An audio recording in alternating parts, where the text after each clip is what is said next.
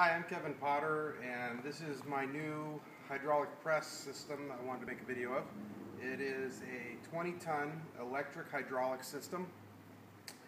Uh, it fits our standard frame, but we build our own cylinders and pumps.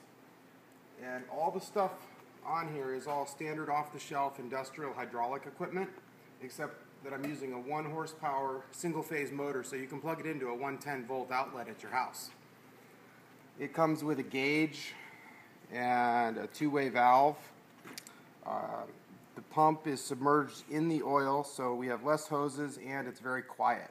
I mean it's going to sound kind of noisy when I turn it on but trust me it's not too bad. So I'll turn it on. It's a dual acting system so you have a two-way cylinder. It has power up and down I can change out the pump size to increase the speed of the ram and we can also put in a needle control valve that'll control this like to make it slow down. So you can really inch up on whatever you're pressing. So here goes. See it's not too bad. So this goes up. You can see it's got pretty reasonable speed for doing artistic work and it's got a lot of stroke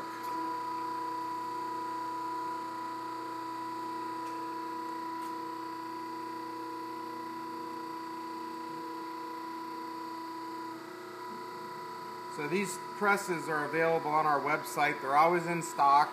And if you have an older Potter frame, we can retrofit it to your frame as well. And I'm sure I can fit it to other people's press frames as well as my own. So, thanks for watching. Talk to